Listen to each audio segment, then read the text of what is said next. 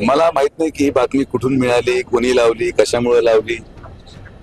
आम्ही महायुतीच्या पक्षामध्ये एक घटक पक्ष म्हणून भारतीय जनता पार्टी आहे.